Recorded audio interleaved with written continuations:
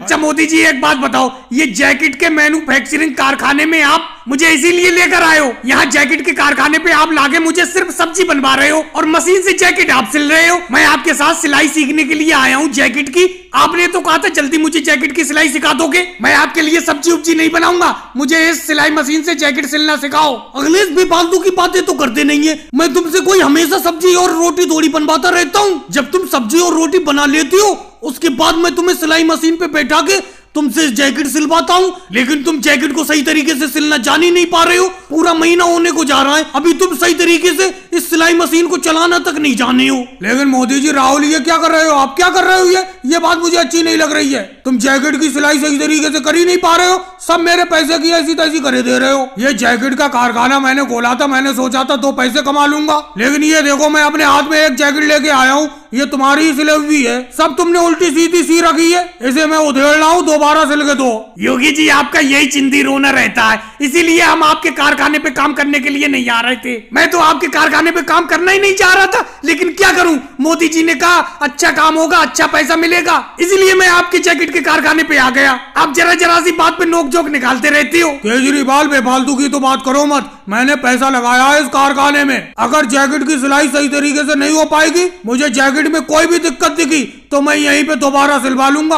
अगर जैकेट खराब होगी तो मार्केट में मेरी जैकेट कैसे बिकेगी? योगी जी, आप भी बेफालतू की बात करते हो। कोई भी जैकेट बिकने से रुक जाती है कोई। अमित शाह के जैकेट के कारखाने में तो जैकेट की सिलाई करने वाले लोग अच्छी तरीके से सिलाई भी नहीं कर रहे हैं और वो कुछ नहीं बोलते। लेकिन आपने तो नाक में दम कर रखा है। कभी कहते हो जैकेट की चेन सही तरीके से नहीं लगी, कभी कहते हो सिलाई सही तरीके से नहीं हुई। क्या क्या करें हम? और एक जैकेट की सिलाई के आप पूरे सौ रुपए देते हो, कम से कम दो सौ रुपए दो।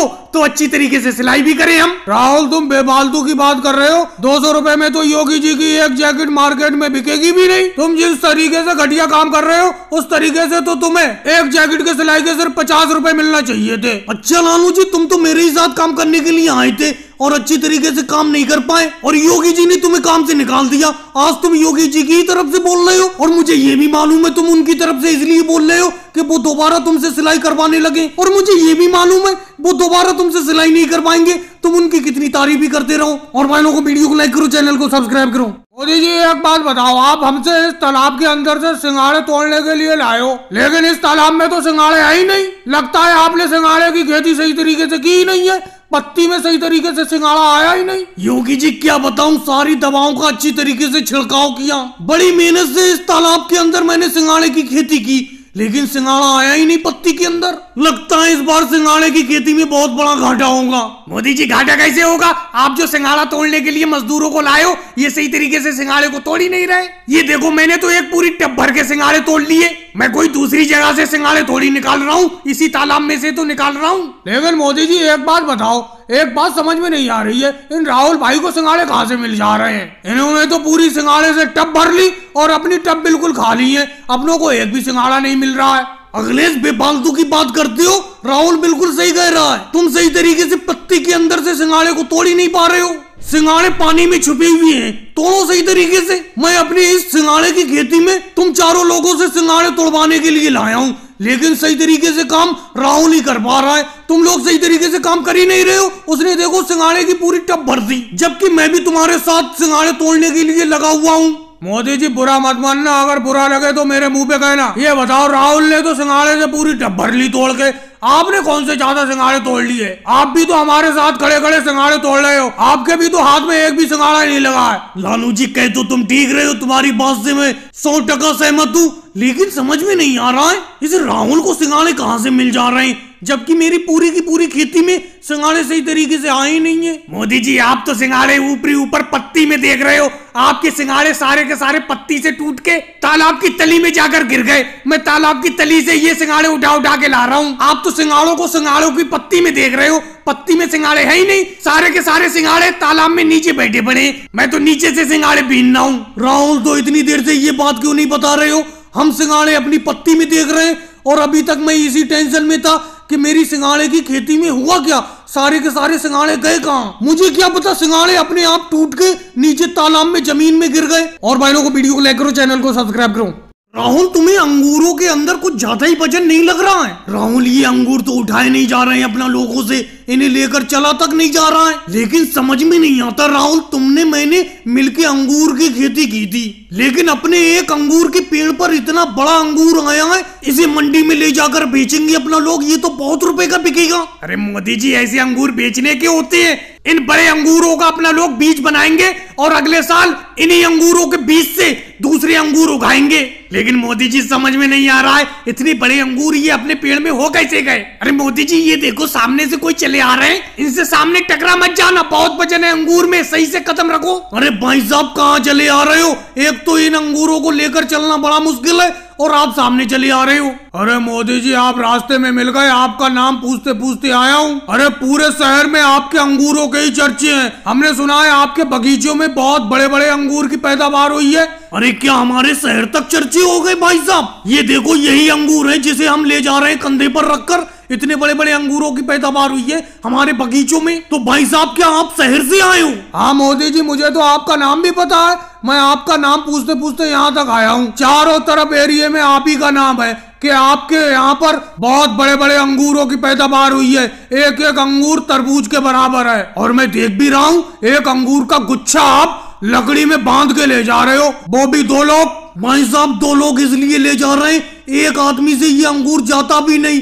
इसमें कम से कम तीन क्विंटल वज़न होगा। राहुल अपना तो मशहूर हो गए। चारों तरफ़ अपने अंगूर की चर्चे हो रहे अरे मोदी जी राहुल रुक जाओ रुक जाओ। एक अंगूर मुझे गुना दे दो। कितने रुपए का बेच रहे हो? अगले ऐसे कैसे तुम्हें अंगूर देते तुमने भी तो अंगूर की खेती की है।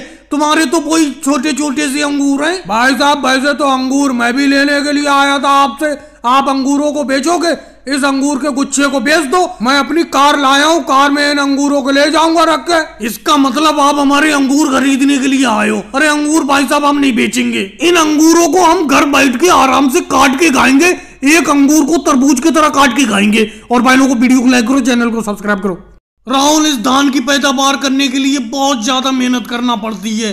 बेहिसाब मेहनत करना पड़ती है। अब तुम ही देख लो, पहले तो धान की रुपाई करी गई, उसके बाद धान की फ़सल बड़ी हो गई। अब उसके बाद धान की कटाई करके, धान की इस फ़सल को खेतों से निकाल के घर ले जाना पड़ रहा है। मोदी जी, इस धान की फ़सल को ले जाना तो पड़ेगा घर। देख रहे हो कितनी ज़्यादा बारिश हुई है, खेतों में तो पानी भरा पड़ा है। इसीलिए धान की इस फ़सल की कटाई करके अपना लोग इस धान की फ़सल को घर ले जा रहे हैं और घर ही अपना लोग धान को इस प्याल से अलग कर देंगे।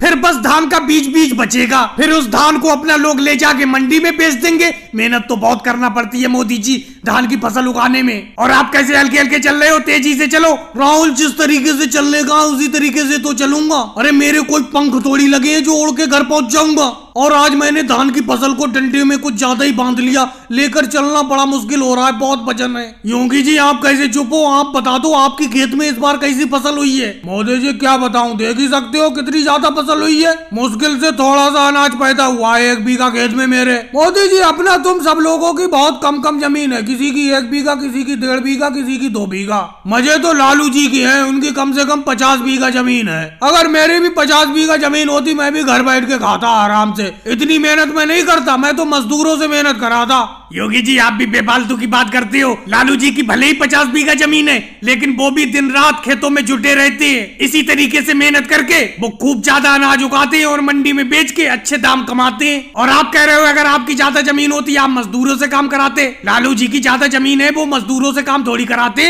वो खुद काम करते हैं। देखो केजरीवाल जी तुम तो मुझे ज़्यादा ज्ञान देने की कोशिश करो मत। ये तो मेरी सोच है तुम अपनी सोच बताओ। योगी जी मैं आपसे सौ टका सहमत हूँ। अगर ज़्यादा ज़मीन होती तो मैं भी ज़्यादा मेहनत नहीं करता। लेकिन क्या करें? इतने नाखून नहीं है जो सिर खुजा सके। मेरा मतलब इतनी ज़मीन ही नहीं है अपने पास। बेफालतू की उल्टी सीधी बातों में लगे पड़े हो आप लोग। अरे जितनी भी अपने पास ज़मीन है, उतने में ही भगवान का धन्यवाद करो। देखो, अखिलेश के पास तो आधा बीघा ज़मीन है। अखिलेश है कहाँ? अरे सबसे पीछे अखिलेश रह गया।